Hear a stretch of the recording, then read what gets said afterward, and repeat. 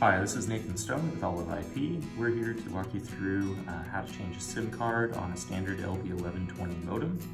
This is our standard modem that we work with uh, for the majority of our customers. So if uh, you have to change this out for any reason, be that the SIM card going bad, uh, or you need to switch your carrier for any reason, uh, this is uh, kind of the process to do that. So the first thing that we're gonna do, uh, you have your power light, you have your signal indicators right here. Generally want, we want those uh, over three bars, but um, different things can work for different folks. Uh, and then this is your uh, Ethernet connectivity light, just stating that it realizes that there's a router or another device using it on the other side when you plug it in. This is your ethernet port right here. So this would be connected to your wireless router or your device.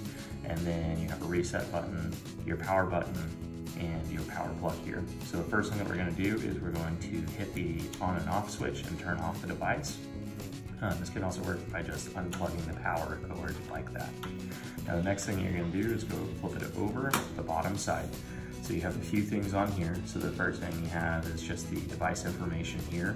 Um, also useful for you is the password found right here. So if you ever have to access the password, access the uh, inside of the modem for any reason, uh, you know where to find that as well. It is pretty small, so uh, be warned on that. Now, to change out the SIM card, we're going to open up this little panel right here.